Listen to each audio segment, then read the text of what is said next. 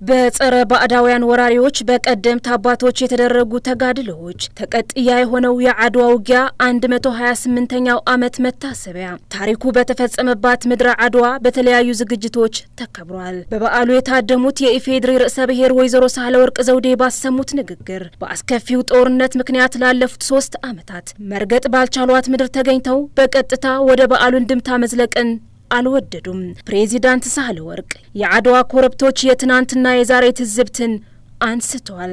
ከዛሬ 128 ዓመታት በፊት በአልገዛም ባይነት ገድል ትውልድ የተስፋ ጮራ ፈንጣቂ ታሪክ ሲከትም የተመለከቱት የአድዋ ኮረብቶች በአንጻሩ ደግሞ ባለፉት ሶስት የጨለማ ዓመታት በዚች ምድርና ሕዝቧ ዘግናኝ ግፎች ሲፈጸሙበት ተመልክተዋል ሲሉ አንስተዋል።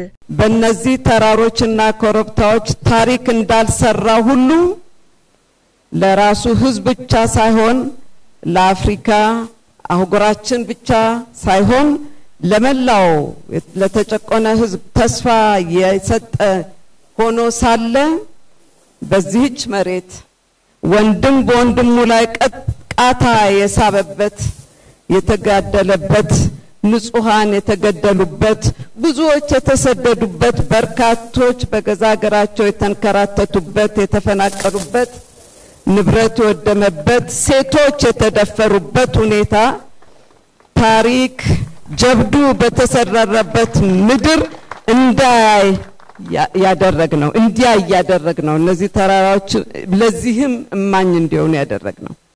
ፕሬዚዳንቷ ሲቀጥሉ እነዚህ ተራሮች ማውራት ቢችሉ የህዝባችን ጀግንነት፣ ታሪክ ሰሪነትና አንድነት ምስክር ቢሆኑ በወደድን ካሉ በኋላ የነጻነት አርአያ በሆነችው ምድር በተሰራው ነውር ዓለም በሌላ ታሪክ እንድታውቀንና ገጽታችን እንዲጠለሽ በማድረግ በአንድ ምድር ሁለት ታሪክ ስለመከተቡም ገልጸዋል። አድዋ ባለቤቶች እንዳልሆንን ገጽታችንን አጎድፈን አበላሽተናል። ዛሬ ህዝቡ እንኳን ብዙ ችግር እንዳለበት ነው የምንሰማውም የቀን ተቀን ኑሮውን ለመግፋት ከአንድ ሳናገግም ሌሎች ችግሮችም በሀገራችን ላይ አሉ።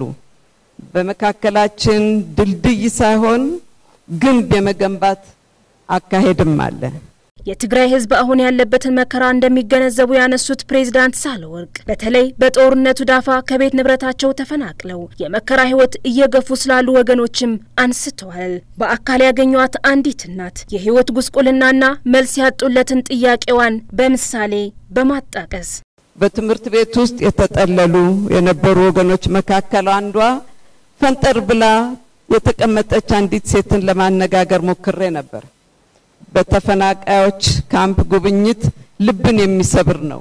ለምን ከቤት ንብረታቸው ወጥተው ዲግኒቲያቸውን አጥተው ቁጭ ብለው ጉብኝት እና ደግሞ እንመጣለን ልናያቸው።